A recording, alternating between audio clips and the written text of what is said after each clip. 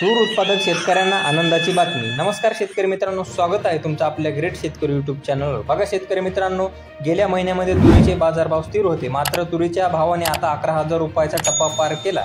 अशातच आपण बघणार आहोत की कोणत्या बाजार समितीने तुरीचे बाजारभाव वाढवून दिले. चला तर मग व्हिडिओला सुरुवात करूया.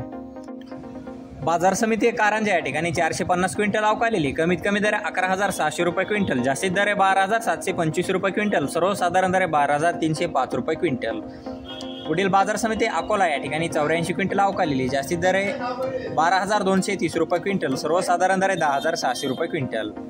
पुढील बाजार समिती यवतमाळ या ठिकाणी सव्वीस क्विंटल अवकालेली जास्तीत दर आहे अकरा हजार नऊशे पंचावन्न रुपये क्विंटल. सर्वसाधारण दर आहे अकरा हजार सातशे सत्याहत्तर रुपये क्विंटल.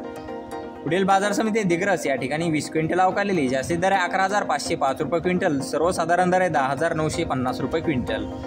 पुढील बाजार समिती बुलढाणा या ठिकाणी सहा क्विंटल अवकालेली जास्तीत दर आहे अकरा हजार रुपये क्विंटल सर्वसाधारण दर आहे दहा हजार रुपये क्विंटल.